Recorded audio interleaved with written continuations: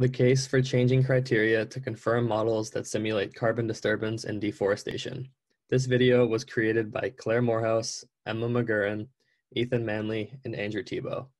Our emails can be found here. This project was supervised by Professor Pontius of Clark University. This presentation presents key findings from the study, Criteria to Confirm Models that Simulate Deforestation and Carbon Disturbance published in the peer-reviewed open access journal Land in 2018 by Professor Robert Pontius of Clark University. The study used data from Bolivia as a case study to investigate the current standards to confirm models that simulate deforestation and carbon disturbance. The Verified Carbon Standard VCS methodologies VM0015 and VMD0007 for unplanned deforestation specify that the minimum threshold for the best fit, as measured by the figure of merit, FOM, shall be defined by the net observed change in the reference region for the calibration period of the model. Net observed change shall be calculated as the total area of change being modeled in the reference region during the calibration period as a percentage of the total area of the reference region. The FOM value shall be at least equivalent to this value. This means that the FOM must be greater than or equal to the total area deforested in the calibration period divided by the total area of the reference region of the calibration period. The current VCS standards state that FOM equals hits divided by misses plus hits plus false alarms. The FOM is also known as the Jaccard index. The FOM ranges theoretically from 0% to 100%, where 0% means no intersection between true deforestation and simulated deforestation, while 100% means perfect intersection between true deforestation and simulated deforestation. A hit is defined as pixels in which the model predicted the pixel to be deforested and that same pixel is also deforested in the reference image. A false alarm is when the model predicted the pixel to be deforested, but the pixel had forest persistence in the reference image. Forest persistence means that the pixel remained forest. A miss occurs when the model simulated forest persistence, but the pixel was actually deforested in the reference image.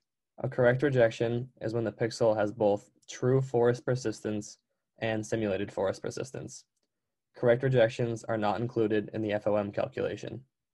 This presentation has three recommendations to change current verified carbon standard, VCS, methodologies VM0015 and VMD0007 for unplanned deforestation.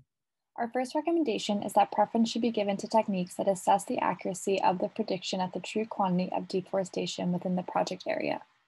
Graph A to the left is taken from Pontius 2018 and shows FOM versus the quantity of simulated deforestation for four different allocation methods, proximity, lowest carbon, highest carbon, and random allocation. The required FOM for a model to qualify is the purple horizontal line. Bold markers indicate the true deforestation quantity during the confirmation period, and large markers indicate the deforestation quantity extrapolated from the calibration period. The graph to the right, figure B, is a zoomed in version of the graph to the left. Looking in at the zoom version, the simulated quantity of deforestation is seen on the x-axis, and the FOM is seen on the y-axis. The main point from this graphic is that the deforestation risk maps have various FOMs depending on the simulated deforestation quantity. Consider the FOM for proximity allocation models at 1% simulated quantity versus 1.5% simulated quantity. 1% simulated quantity is the extrapolated quantity and 1.5% simulated quantity is the true deforestation. For the proximity allocation model, the extrapolated quantity FOM is approximately two percentage points lower than the true deforestation simulated quantity FOM. This demonstrates how the FOM can change based on the simulated quantity. The key point here is that the purpose of, this, of simulating a deforestation risk map is to specify spatial allocation, not quantity. Pontius 2018 recommends uniform standards for the simulated quantity. And if one were to focus on a single quantity, then it makes sense to select a quantity that allows for the most informative assessment of allocation. This is the true deforestation quantity seen as the bold marker for each allocation model in the red boxes. Pontius 2018 gives the recommendation for a multitude of reasons. This graphic shows deforestation quantity extrapolated from the calibration period and also the reference quantity during the confirmation period. The extrapolated deforestation quantity can vary depending on the method of extrapolation. In addition, the calibration period may be of a different duration than the confirmation period. To avoid these complications, what makes more sense is to simulate the quantity of the true deforestation, which in the case of the Bolivia study is 1.5%. The second recommendation concerns the required FOM.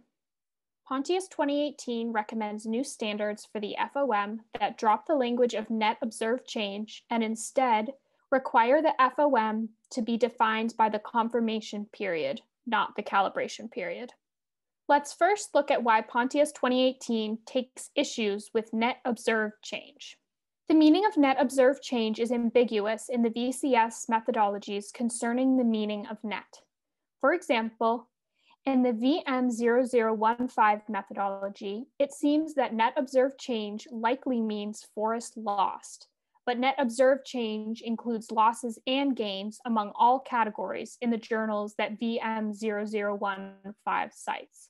Thus, Net observed change could mean forest gain minus forest loss, which would be zero or negative when forest loss is greater than or equal to forest gain.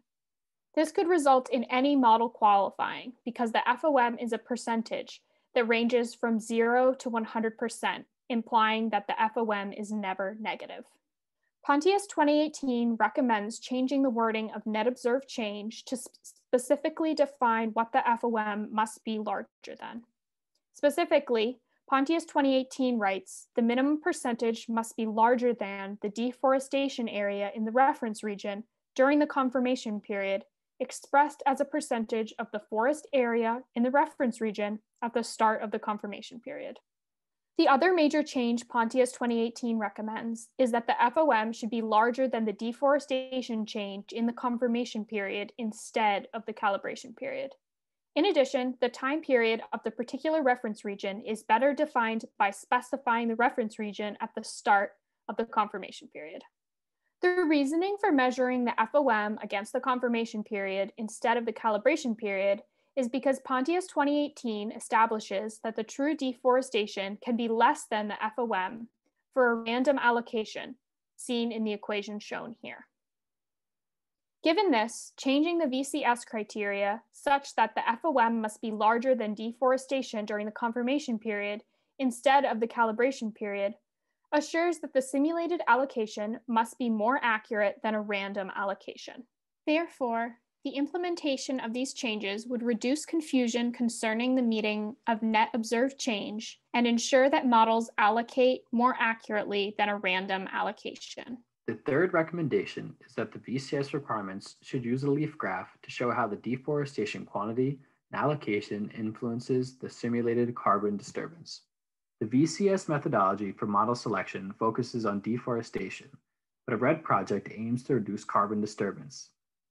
It is important for future VCS methodology to use methods to show how the deforestation quantity and allocation influences the simulated carbon disturbance because the purpose of REDD projects is to be a carbon offset, as demonstrated in this graphic.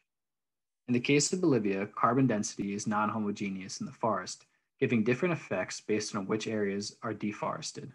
Here is a map used to create deforestation risk maps. This is a deforestation risk map for low carbon density. This is a deforestation risk map for high carbon density. As mentioned, Pontius 2018 sought to create a method to show the accuracy of the simulation's carbon disturbance. To do this, he created a leaf graph shown here. The high and low carbon density allocation models help form the leaf graph to demonstrate carbon disturbance along with proximity allocation and random allocation models. For a leaf graph, the x-axis shows the percentage of simulated change as percentage of initial forest area, 0 to 100%. And the y-axis shows carbon disturbance as a percentage of initial forest area from 0 to 100%.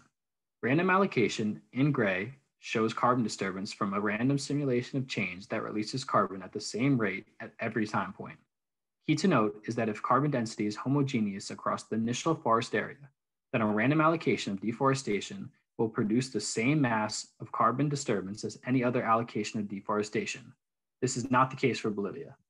Secondly, a proximity allocation in blue, the lowest carbon allocation in red, and the highest carbon allocation in green are also included for the case study. The lowest carbon allocation and the highest carbon allocation form respectively lower and upper bounds in which the carbon disturbance must reside for any allocation. The shape of the bounds inspire the name of the leaf graph. Seen to the left of the red star, when simulated quantity is 50%, the highest and lowest carbon allocations form their maximum range, which is 38 percentage points for carbon disturbance. Seen to the left of the blue star, when simulated quantity is 25%, the random and proximity allocations form their maximum range, which is 3 percentage points for carbon disturbance. Here is a zoomed in version of the leaf graph at the origin. The leaf graph can reveal how different allocation models at a particular quantity are closer to the true carbon disturbance, which the FOM does not reveal. Looking at the zoomed in version of the leaf graph to the left, it is identifiable that random allocation is more accurate than the proximity allocation for simulating carbon disturbance at the 1% extrapolated quantity. You can tell this because at the extrapolated quantity of 1%, the gray random allocation line is closer to the black X than the blue proximity allocation line. The black X is the true carbon disturbance at the true deforestation amount of 1.5%. However, looking to the graph on the right where the red star is, the gray random allocation model line is below the required FOM at the extrapolated quantity of 1%, while the proximity allocation model, the blue line, is above the required FOM at 1% simulated quantity. This difference demonstrates how leaf graphs can provide a more nuanced version than purely the FOM criteria to show how different models perform better at modeling carbon disturbance for a particular quantity.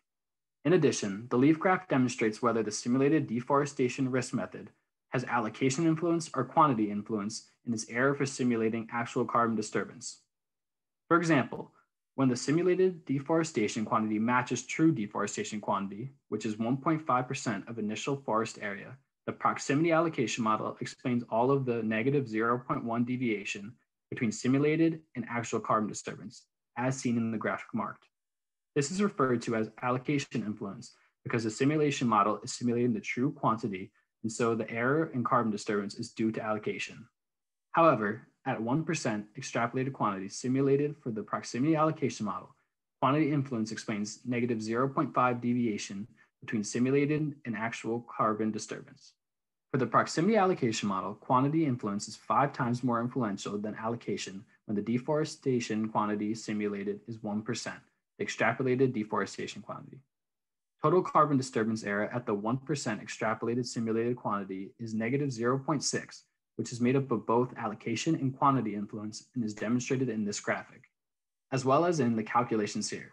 This particular leaf graph shows how the proximity allocation model, when the quantity simulated is the extrapolated quantity, both allocation and quantity influence the error in carbon disturbance modeled from true carbon disturbance. Thus, according to Pontius 2018, modelers must measure the influence of quantity specification relative to the influence of allocation specification because quantity error and allocation error might not be equally important for the purpose of the model. As demonstrated, leaf graphs can measure the influence of quantity specification relative to the influence of allocation specification. These three key recommendations would improve the VCS methodology's criteria to confirm models that simulate carbon disturbance and deforestation. This is of importance because computer simulation models quantify the effects of REDD projects. Please feel free to send any further questions to us or our advisors at the given emails. And these are our sources and additional information, including Professor Pontius's website. Thank you so much, and we hope these recommendations can create positive change towards a new methodology that evaluates models that simulate deforestation.